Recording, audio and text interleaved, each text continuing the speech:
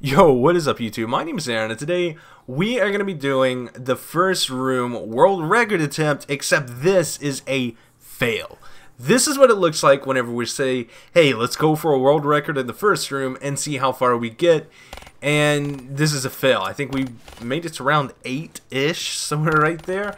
But it's you know it. The fail came from the red pod. It should have been a gun, and also kind of just timing in general. I think was the the big killer of this game. But that's not what I want to talk about. What I want to talk about today, you could probably already tell by the title, is something that's been forgotten. Something that was found a long time ago. Like, it's just been lost in all the can you Pack-a-Punch of the Wonder Weapon and Shadows of Evil? Look at the new map, Der Eisendrache. Drag. Look at the Easter eggs. Look at this Easter egg. Look at all this cool stuff you can do. World records.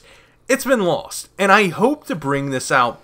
And I hope to get your input too. So if you've made it this far, go ahead and like the video. Let's push for 50 likes this video. I think we can do it. Also, comment down below. I love reading your comments. And even if you don't feel like commenting, just go ahead and comment. You'll be surprised. Maybe some other people will answer you. But I want to hear what you guys think about the Ray Gun Mark III. So if you can think back way, way long ago, I don't even know what date it was, whenever we were getting like that Become a Zombie or something like that tour, on the billboard behind Mark Lamia as he walked, you could see what people are calling the Ray Gun Mark III. And everyone thought for sure, like, oh yeah, Ray Gun Mark III is going to be in Shadows of Evil it took me about two or three weeks of playing Shadows of Evil, and I was just like, where's the Mark III? I did not even think about it. And I thought I was like, hmm, maybe it'll come out the second map. The second map came out.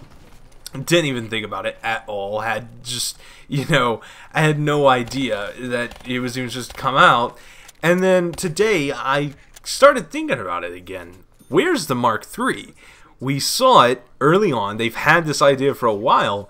And the Mark III is not here, obviously. We would know. I think in Shadows of Evil it could possibly be there because the the people that running are running through the scripts, they did end up finding a second Wonder Weapon that people just thought was the Wonder Weapon or the uh, Wonder Waff, but it clearly wasn't. And then some people are like, "Oh, it's the Pack-a-Punch version of the Wonder Weapon," which we still haven't found. People have just stopped looking for it.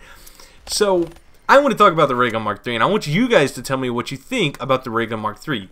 Will it come? Will it not come? Was it just an idea? Or was it just some random drawing supposed to look futuristic and kind of just keep us guessing on zombies? So I'm going to go ahead and tell you what I think.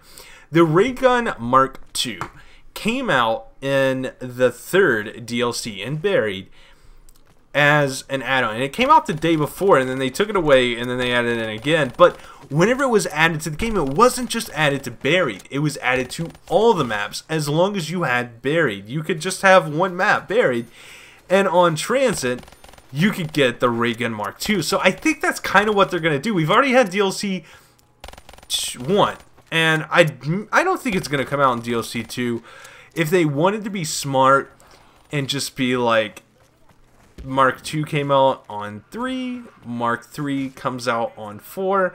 I think that could work. Maybe the last map because you know they want to go out with a bang. They zombies in the history of zombies, all the way back to World of War.